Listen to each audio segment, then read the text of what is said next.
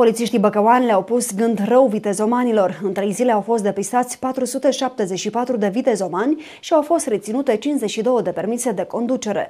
Recordul vitezei a fost stabilit de un șofer din Neamț, care a fost surprins de aparatul radar cu viteza de 153 de km la oră. În perioada 1-3 august, peste 40 de polițiști rutieri și de ordine publică au acționat zilnic pe principalele artere rutiere ale județului Bacău pentru prevenirea evenimentelor rutiere produse pe fondul vitezei excesive. În cadrul activităților desfășurate au fost constatate șase infracțiuni și au fost aplicate 728 de sancțiuni contravenționale în valoare totală de 169.060 de lei. Dintre acestea, 474 sancțiuni au fost aplicate pentru depășirea limitei legale de viteză. De asemenea, au fost reținute în vederea suspendării dreptului de a conduce autovehicule pe drumurile publice, 52 de permise de conducere, dintre care 27 pentru depășirea vitezei maxime legale legale admise cu mai mult de 50 de km la oră, 13 pentru depășiri neregulamentare, 4 pentru conducere sub influența alcoolului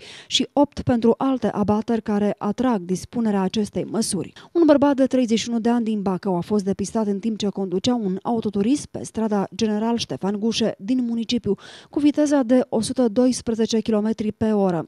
Cel în cauză a fost sancționat contravențional cu amendă în valoare de 810 lei, iar ca măsură complementară s-a reținut permisul de conducere pentru o perioadă de 90 de zile. Un alt vitezoman de 39 de ani a fost înregistrat de aparatul radar în timp ce conducea autoturismul pe DN2 în interiorul localității Cleja cu viteza de 124 de km pe oră. Bărbatul a fost sancționat contravențional și s-a luat măsura reținerii permisului de conducere pentru o perioadă de 90 de zile. În localitatea Valea Seacă, polițiștii au depistat un bărbat de 34 de ani din București, care conducea un autoturism cu viteza de 145 de km pe oră.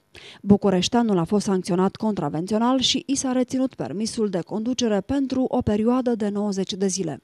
Recordul absolut i-a aparținut unui șofer din județul Neamț, care conducea în afara localității Bereș-Bistrița, cu viteza de 153 de km pe oră. I s-a reținut permisul de conducere pentru o perioadă de 90 de zile.